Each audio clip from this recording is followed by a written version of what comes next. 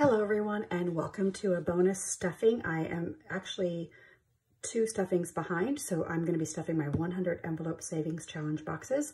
It will be a shorter video, but I wanted to be able to get this stuffed. Um, otherwise this money will be used for other things or I'll just forget. And so I don't wanna do that. I wanna be responsible. So if you're interested, um, I hope you'll stick around, give it a thumbs up, give it a like, you know, do all of the things. These are in my Etsy shop. Um, there are many challenges. I'll go through that. Um, so let's see, I think I have around $96. And let me explain. Sorry, I'm getting ahead of myself. This money comes from Etsy and or YouTube. Um, I have, I'm not selling as many of these as I usually do. And so I'm kind of spreading this money out, rationing it out, so to speak, to around $120 a week. Sometimes I would do $120 in a day, right?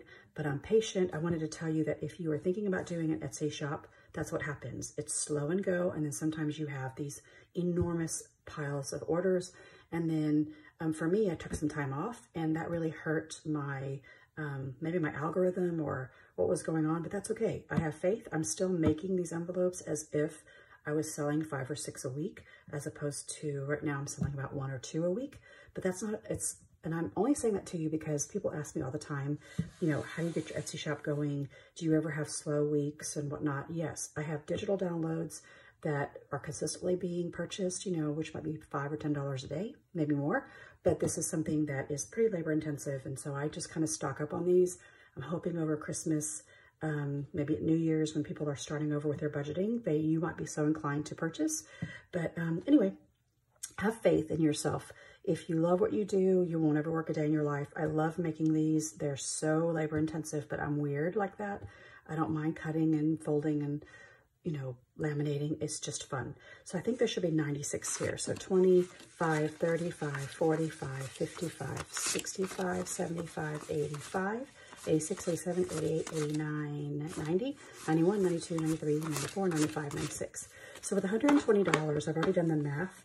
10% of this is going to go to um, debt. So let me show you what I do. I don't keep all of this as profit, okay? Let me get my notebooks back out. So debt, I never can remember where I put it. Yes, so 10% of this is gonna go to debt, which is $12. I guess I should kind of organize this, huh? Anyway, there we go. Slow and steady wins the race. These um, 100 envelope savings challenge boxes are what I call the beast. I call them budget with cat boxes, but they are the beast because they, unless you are um, stuffing hundreds of dollars in them a week, it's, it's hard. It's hard for them to add up. So, well, it just takes a long time. So you just have to be patient, and I'm patient because I've done this once before, um, and I like this system. I, right now, I'm only bringing home 40% profit, but that's okay because 10% is going to debt, 100, 200, 300, 20, 40, 45, 50, 55, 60, 61, 2, 3, 4, 5, 6, 7, 8, 68, 368. Yep, almost 400. And I will take this money and apply it toward a credit card. So that'll help boost the money that I'm paying on that credit card right now. Okay, 24 of it, which is 20%, stays in the bank and it helps to pay for lamination film, um, packaging like tissue paper and things of that nature, just supplies. And 36, which is 30%, is gonna go to income tax, okay? 30% of what I make. Now that might be high for some people. Some people say they only put in 20%. I'm putting in 30%. So here's 20, 5, 35, 36. And the reason why I do that is because my husband and I are a little bit older and we don't have a lot of tax breaks anymore except for this business, right? So we end up paying a little bit more in taxes, unfortunately, as you get older. Um, you either have to make no money so that you don't have to pay income tax or you got to pay. So, so far in income tax, I have one, two, three, four, five. 20, 40, 60, 80, 85, 90, 95, 600, 5, 6, 7, 8, 9, 609. And I think this year in taxes, I don't mind telling you, I paid about $3,000 and all of that was saved over the course of a year. So I'm very proud of that. I didn't have to come out of savings. I didn't have to charge it. um, I saved for it. So these small denominations are going to go in here. And I figured out that I want to put only fives, two fives in this. And these are not organized. So this is another 100 envelope savings challenge box. Um, I feel like a broken record. They are smaller, so they have like the little peekaboo at the top. This one, um, you can number them 1 to 100. I'll do that for you. You can leave them blank. You can um, ask for specifics. So for example, I had somebody order the 100 envelopes, but the, she wanted them numbered 1 through 25 four times, right? I think Lisa from Lisa Grateful Me is doing that. She's using my envelopes, my big envelopes. She has her own tracker, so she pulls any envelope she wants. Doesn't matter about the number. And she's using her tracker to do the 1 through 25 four times. So you can use these envelopes any way you want. I recommend um, either not numbering them and then finding trackers that go with 100 or numbering them so you have them for the 1 to 100, but ignoring it if you need to. So for example, my son Will had the black, white, and gray ones. He has those.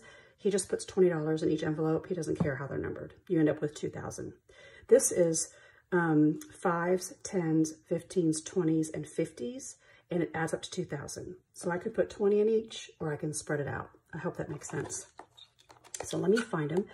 This is the mixed variety, so it would be patterns, and florals.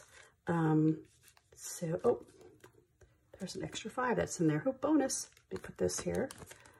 Um, they will have paper on both sides. These are one of the original ones I did.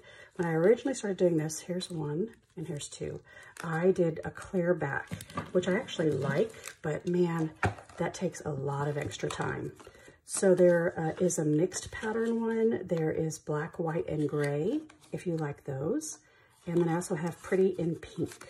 So there are different varieties of pinks or pink hues, right? So there's more fives.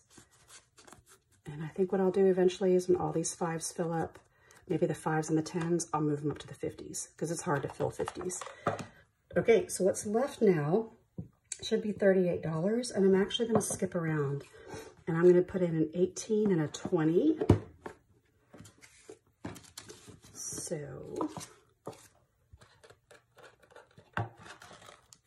there's 18 and here's 20. Okay, so let's count that out. 5, 10, 15, 20, 5, 10, and this should be 8. 1, 2, 3, 4, 5, 6, 7, 8. Yes, okay. So there's 18. go. And here is 20. And to be honest with you, um, when the box starts getting full, if you, like, for example, if you put little amounts in here over and over again, if you have like $95 and you do them all in fives, eventually it will get so full, um, which is fine. I had to put a few of the envelopes on top, if that makes sense. Um, and at one point, I think I did a little bill exchange where I took thick envelopes like this of 20 and put in a $20 bill just so that it would um, allow for room. And let's see, what I do with, here it is. So 18 and 20, I'm gonna color it in like so. 18 and 20. I'm just gonna try my best to fill up this row, the second row of 12 through 22, and then I'll go down to probably to the 33s or 40s, and then I'm gonna bump all this money down, and if I'm lucky, it'll fill up one row. But um, I just don't have the abundance of money right now um, to put any more of that than that in there, if that makes sense. But you gotta do what you gotta do. Um, these two trackers, this tracker comes with both of these. So I think that's it. Yeah, fast and furious, you guys. Have a great rest of your week, and I'll talk to you soon. Bye.